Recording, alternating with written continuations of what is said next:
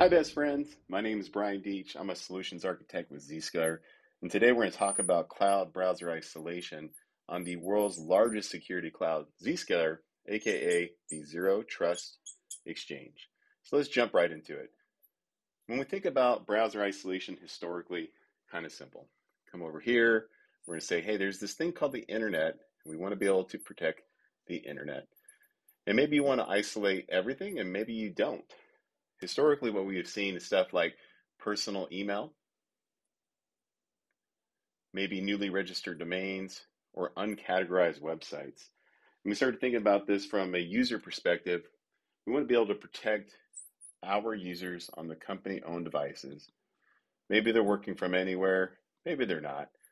But the end result is we have the ability to kind of steer that traffic over into the isolation platform, isolate that traffic, prevent that user from copying, pasting, downloading, printing, all the above.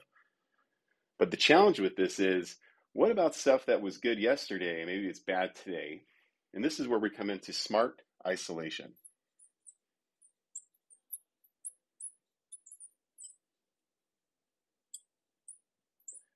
And really, what is smart isolation? It's it's AI and it's ML based learning on these destinations as well as the client behavior.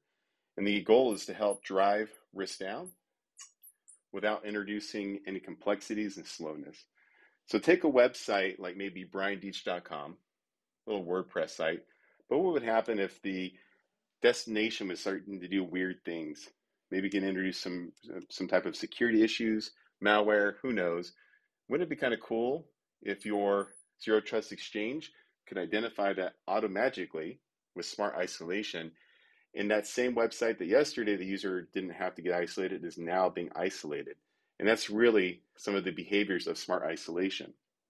Is to dynamically score user behavior, destination behavior, and isolate that user.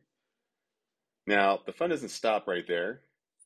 Start to think about other cloud based things that you have going on in your organization. Be SaaS based.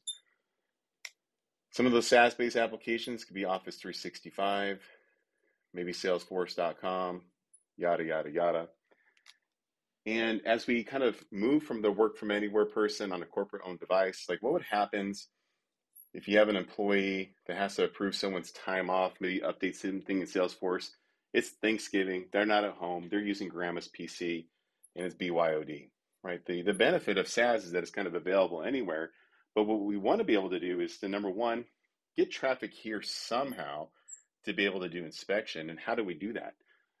Well, we look at it from an identity proxy perspective.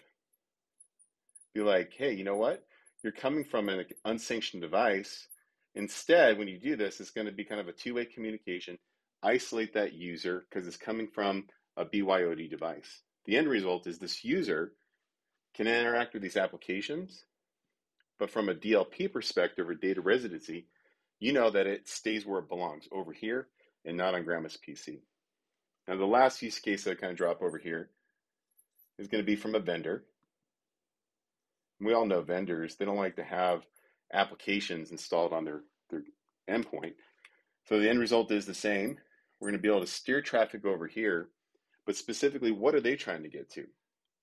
Now, this is where I'm going to come in and say, hey, maybe it's a private cloud, Maybe it's the data center. But the end result is we want to keep that user off the network. We want to do cool things like isolate them. So let's say that you have like application one over here. Maybe it's web-based, HTML5, it doesn't really matter.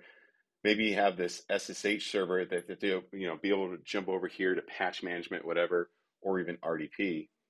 The fact remains uh, the same.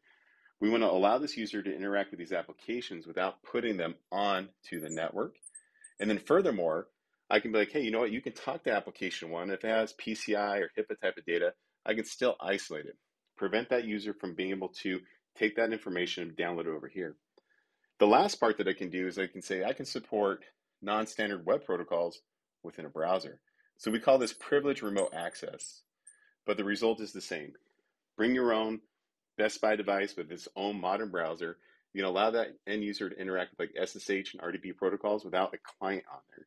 Then on top of that, you can help isolate that. So you can give them the ability to access this stuff, but they can't copy and paste and print and whatnot. So at the end of the day, browser isolation is not just about the internet. It's about the internet, unsanctioned things, unsanctioned applications, unsanctioned users, devices, protecting SaaS, increasing agility, decreasing risk, and allowing your vendors come in, access applications without actually putting them on the network.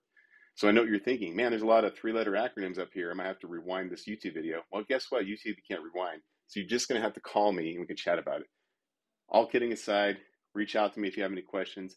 I appreciate your time for watching. Thank you.